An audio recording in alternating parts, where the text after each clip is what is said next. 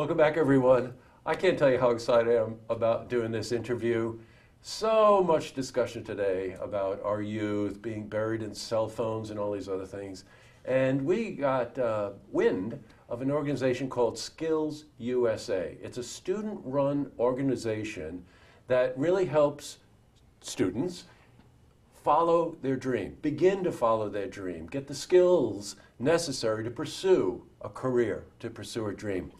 So we have two great examples, and we're going to get to know them. I have Joyce Wilcox. Welcome, Joyce. Thanks. You're quite welcome. and I got Emily Ellsworth. All right, Em, how are you? I'm good. How are you? Good, fine, thank you. Uh, I have a feeling that the fact that you're wearing matching red jackets might have something to do with Skills USA. Indeed. You think so? Yep. All right. Uh, you know what? I'm going to start with you, Em. What is Skills USA? Skills USA is a student-run organization. Um, you get to work on your choice of career, whether it's welding, early childhood, or graphics, and you get to focus on your set career path, and you're guided by your advisors, teachers, mentors, and friends. Right. Um, a, a little more structure on that would be, say you're a junior in high school. You go to your student counselor and you say, geez, I'm really interested in graphic design and early childhood education. But I, you know, the school only has one or two courses on it. And all of a sudden there's this program out there that that advisor can put that student in touch with to help them further the education in that particular category. What a terrific leg up that is. Um, in your case, Em, you're interested in early childhood education. Yep. Why? Um, I've always loved children. Um, I've helped raise my two young um, cousins, and I now have a new niece um, who's two, almost two months old, and I'm excited to take part in her life, and I just have a connection with kids. Right. Now, the organization Skills USA has a relationship with BOCES. And of course, we have a big BOCES center right here in the North Country, right in Hudson Falls. And that's where the courses are. And if you want to talk about commitment at their age, this is five days a week, two and a half hours a day, right? Yes. Joyce, so tell us a bit about that. So you go to BOCES every day, Yes. right? I'll go to my home school for the morning half, and then I'll break and go to BOCES for the second half of the day.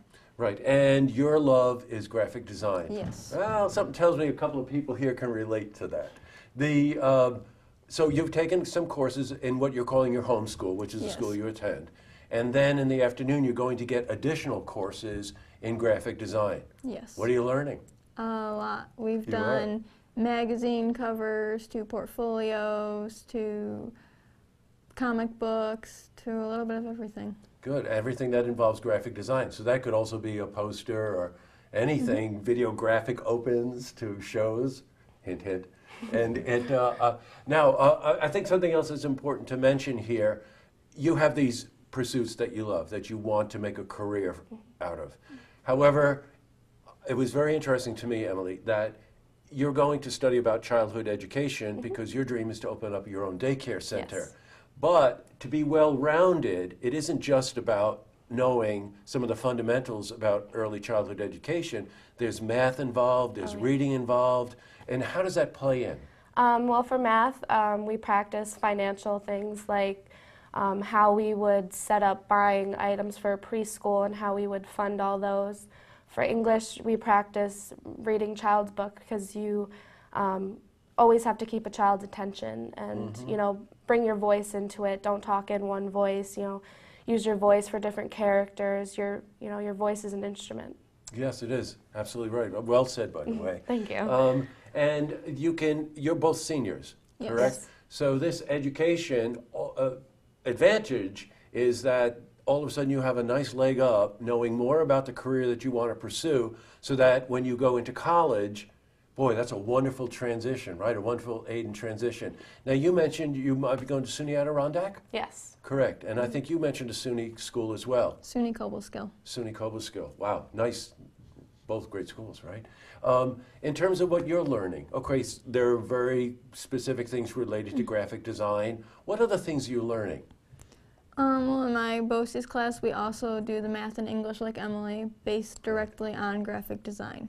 Right, sure. So the other skills that they're learning to help round out the education have to do with the specifics of the career that you want to pursue. Uh, I think I think this is absolutely amazing, and you're both an inspiration. I got to tell you, it, it's really wonderful to talk to you. The uh, the organization is Skills USA. It's a national organization, big presence right here in our community, a student-run organization. And if you have a child out there that you think might qualify for this, be interested in it, there are no financial requirements. BOCES handles a lot of the of the the uh, financial uh, commitments on something like this. Best way to approach it, at least from what you were telling me, was go to your counselor, have your child go to the counselor. They'll put you in touch with BOCES. BOCES can give you the application, and before you know it, your child could be, if they have that love at this wonderful young age of wanting to pursue a career, Skills USA is the bridge. That's, that's probably the best way to say it. Good?